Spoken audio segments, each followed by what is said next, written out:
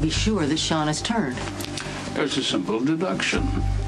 Mr. Morgan knows that I'm the Balkan. He needs to work with someone from within the organization. He and Sean are both missing from the wedding, according to my source. And Sean has just suggested that we meet at the Pine Barrens. Don't look now, but I'm being set up for an ambush. I assume we'll have to deal with Jason and uh, let Brenda and Sonny enjoy their wedding. Assume nothing, darling.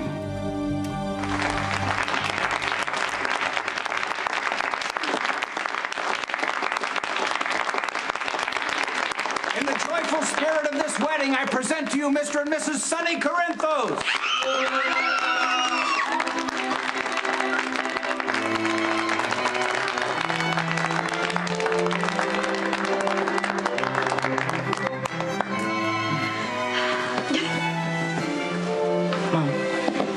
You okay? Yes, absolutely. Let's go.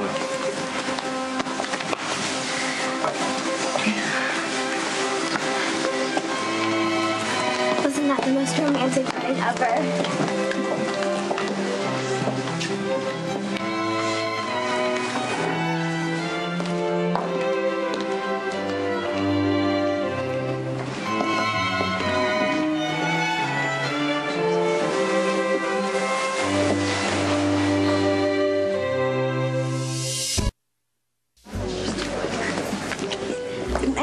This wedding was going to happen? Yes, you're the best maid of honor ever. Thank you. You're the best Oh, bride hug- please ever. hug my You were the best groom ever.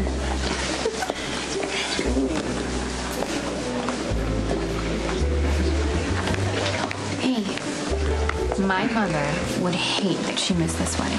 I know, and as your godmother, I insist that you text her a bunch of photos until I can get a chance to call her. Congratulations to both.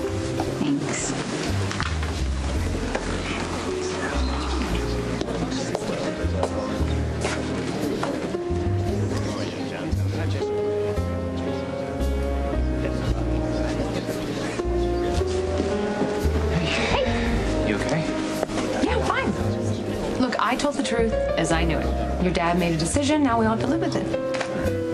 Love you. Oh, I love you too. Okay. I knew you'd try to pull something like this. I bet you're all kinds of disappointed it didn't work.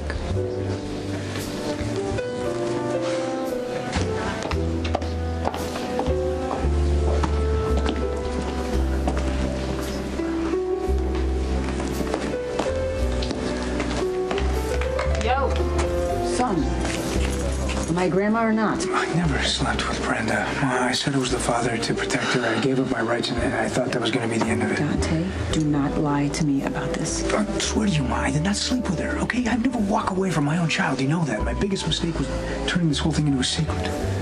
Okay, look, I understand a woman feeling that she needs to lie to protect her own child. Okay, but I still think that your new stepmother took a terrible advantage of you.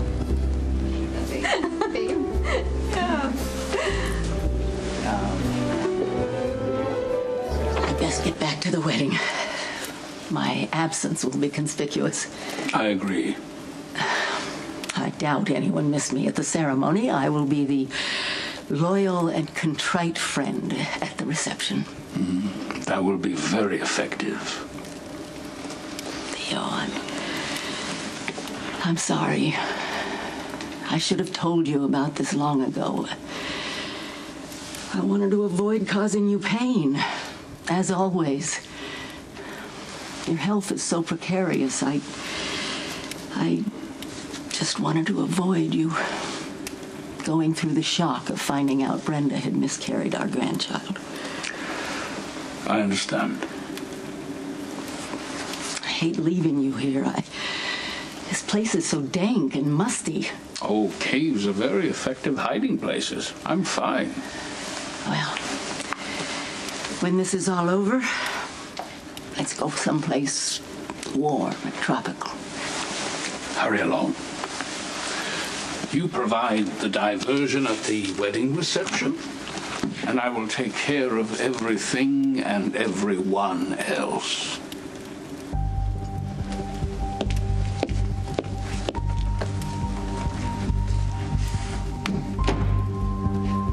Theo could. That's good. Yeah. Well, no reason not to enjoy the party. How long do you think they're going to open those doors and we can have some cake? Hopefully soon. I know, right? You should have come to me the minute you found out you were in trouble, Brenda. The family would have helped. You certainly didn't need to depend on Dante Falconeri, for God's sake. Mm-hmm. End word. Well, it's over now. Mm-hmm. Anyway, I don't want to think about anything else right now other than being Sonny's wife. Happy tears for Lila, just like she wanted. That's hers. Ah, look, if you are beating yourself up for what happened in there, I want you to stop. This, the truth has come to light, but I, Jacob wonders if any of us are better for it. Sometimes you can't save people from themselves. I told Sonny the truth. He wanted Brenda. He still married her. Fine. He has to deal with the rude awakening. So you, you see no chance of happiness? No. Have you seen Jason? I think he slipped out during the ceremony. Yeah, as did Fair Samantha. I, I, I fear that beneath the veneer of wedding celebration, all is not well. Well, I have to say you handled the uh, fireworks from your ex and all the other surprises with a lot of class. And you have a beautiful wife, and the wedding was terrific. You, you knew Carter was planning from the beginning, didn't you? But you know what? I, you were trying to tell me, but I just. No, you didn't want to hear it, and I understand. That's your prerogative, so. Well, she failed anyway, so it doesn't matter. We got married. We're going to stay married for the rest of our lives. Benny? Very nice. Congratulations to both of you. Yeah. Thanks for coming. So did you really know all about that before the wedding? Yeah. Uh-huh. And did it occur to you to mention anything to Luke?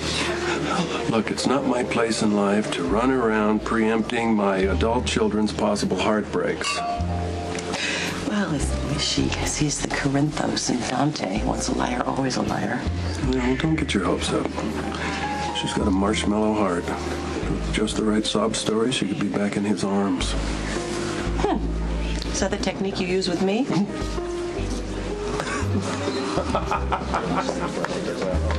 So, were you ever planning on telling me? Would you have believed me if I did? I confronted Brenda before the ceremony. She had every opportunity to leave. No one ever had to know the truth. No, I'm glad I know. I just need to figure out what I want to do. At least no one can accuse his family of being boring. yeah, there's definitely a lot of drama. Well, I think that's what made the wedding so beautiful.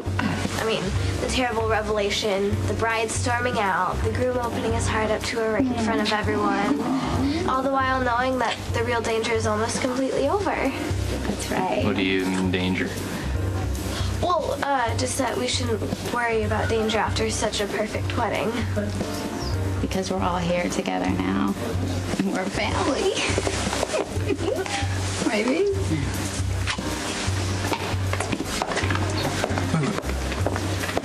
Right, uh, sorry everybody for waiting.